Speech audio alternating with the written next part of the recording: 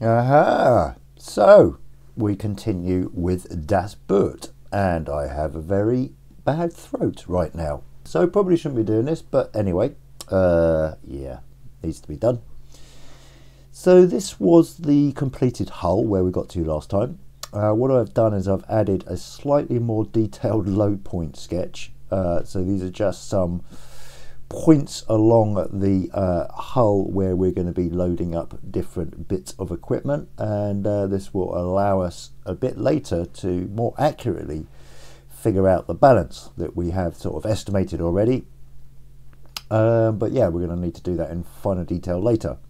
So we've got a hull but we need some uh, pieces to go on it now. So I have and I'm not going to bore you with actually taking you through all of these things, but I have created a model of that little engine that's going to be used, the OS Max 21 or whatever it is.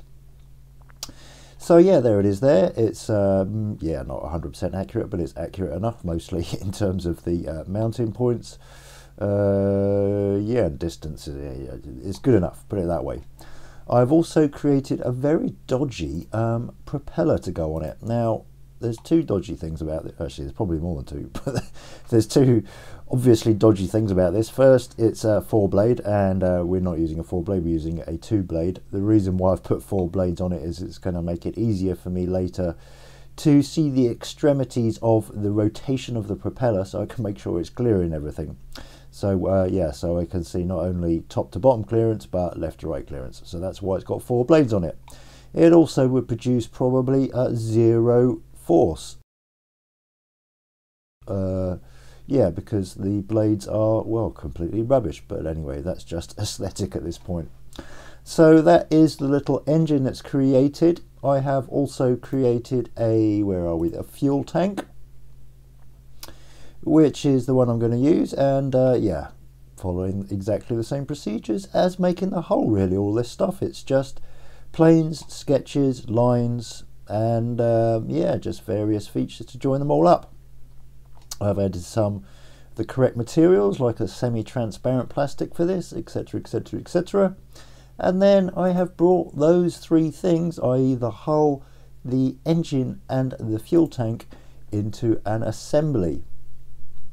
And there we are, so that's partly where these lines come into play. Um, basically, if we look at it from the z-axis and actually view it, uh, basically, um, uh, yeah, I've used these to align the engine and the fuel tank. So the rear of the crankcase of the engine is aligned with this particular point. Um, I'm struggling to remember what that point there is and that point there is, but anyway, it doesn't matter. That is the main interesting, uh, actually that, that might be the center of the mounting. But anyway, doesn't matter. I've then, uh, this was originally going to be the center line of the fuel tank, but actually I have mounted a fuel tank relative to the engine now and I just dragged it back a bit further so I've got more room for the pipework coming out the front.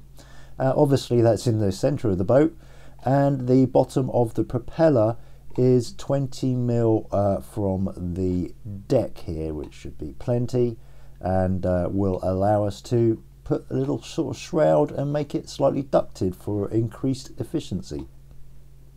Uh, yeah, so that is, uh, we've got a floating engine and a floating tank.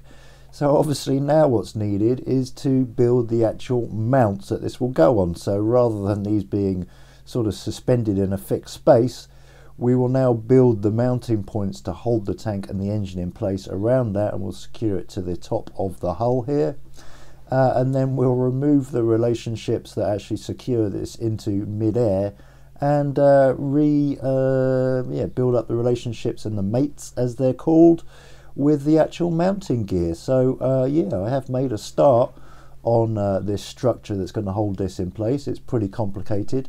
If I took you through it uh, as I did it it would end up being another paint drying series so I'll save you the pain and uh, get back to you once that's sort of more or less done.